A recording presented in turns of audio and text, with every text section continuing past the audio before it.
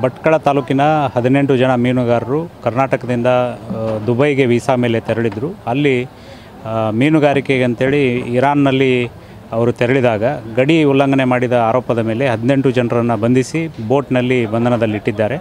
ಅವರು ಜುಲೈ ಇಪ್ಪತ್ತೇಳು, ಎರಡು ಸಾವಿರದ ಹದಿನೆಂಟರಂದೇ ನಮ್ಮನ್ನು ಬಂಧನಕ್ಕೊಳಪಡಿಸಿದ್ದಾರೆ. ಅಲ್ಲಿಂದ ನಮ್ಮನ್ನು ಬಿಡಿಸ್ಕೊಂಡು ಬರೋದಕ್ಕೆ ತಾವು ಪ್ರಯತ್ನ ಮಾಡಬೇಕಂತೇಳಿ ಒಂದು ಆಡಿಯೋ ಮತ್ತು ವಿಡಿಯೋ ಮೂಲಕ ನಮ್ಮನ್ನು ಸಂಪರ್ಕಿಸಿದರು. ತದನಂತರ ಮಾನ್ಯ ಜಿಲ್ಲಾಧಿಕಾರಿಗಳು ಈಗಾಗಲೇ ವಿದೇಶಾಂಗ ಇಲಾಖೆಯ ಅಧಿಕಾರಿಗಳೊಂದಿಗೆ ನಿರಂತರ ಸಂಪರ್ಕದಲ್ಲಿದ್ದಾರೆ. ಅವರನ್ನು ಬಿಡಿಸೋ ಪ್ರಕ್ರಿಯೆ ಪ್ರಗತಿಯಲ್ಲಿದೆ. ಈಗ ನಮಗಿರೋ ಮಾಹಿತಿ ಪ್ರಕಾರ ಅವರ ಆಡಿಯೋ ಮತ್ತು ವಿಡಿಯೋದಲ್ಲಿ ಹೇಳಿರೋ ಪ್ರಕಾರ ಅವರನ್ನು ಬಂಧನದಲ್ಲಿ ಅಂದರೆ ಬೋಟ್ನಲ್ಲೇ ಬಂಧನದಲ್ಲಿ ಇಡಲಾಗಿದೆ ಮತ್ತು ಆ ಬೋಟಿನ ಮಾಲೀಕನ ಇಬ್ಬರನ್ನ ಜೈಲಿನಲ್ಲಿ ಇಡಲಾಗಿದೆ ಅಂತೇಳಿ ನಮಗೆ ಮಾಹಿತಿ ಬಂದಿದೆ. ಆ ಪ್ರಕಾರ ನಾವು ವಿದೇಶಾಂಗ ಇಲಾಖೆ ಜೊತೆ ಸಂಪರ್ಕದಲ್ಲಿದ್ದೀವಿ. ಬಿಡಿಸೋ ಪ್ರಕ್ರಿಯೆ ಪ್ರಗತಿಯಲ್ಲಿದೆ. ಹದಿನೆಂಟು ಜನ ನಮ್ಮ ಜಿಲ್ಲೆಯ ಭಟ್ಕಳ ತಾಲೂಕಿನವರು ಇದ್ದಾರೆ.